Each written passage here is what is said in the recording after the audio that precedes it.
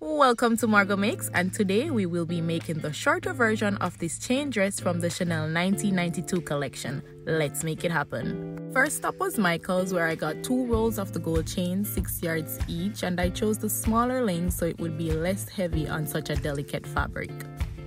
I also needed some form of brooch or a pendant to attach the chains to. I found these silver ones in the jewelry section and I thought I would just spray paint them gold.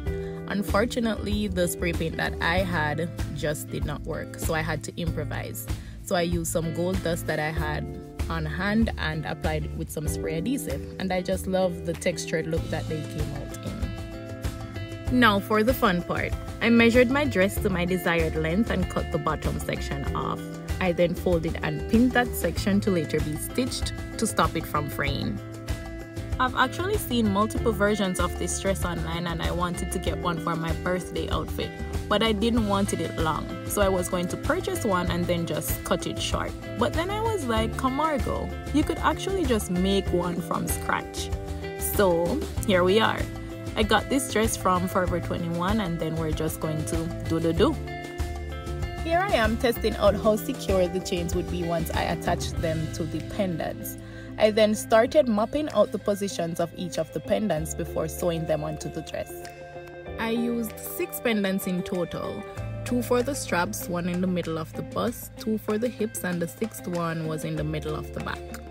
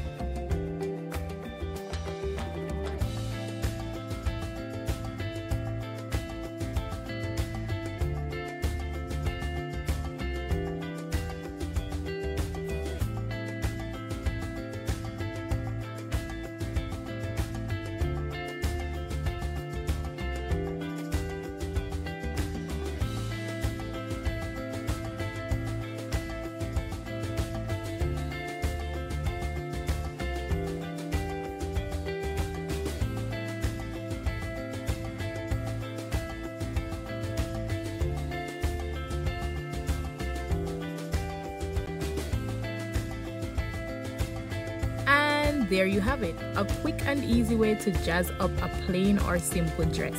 If you've enjoyed this video, don't forget to like, share, and subscribe, and I'll see you in the next one.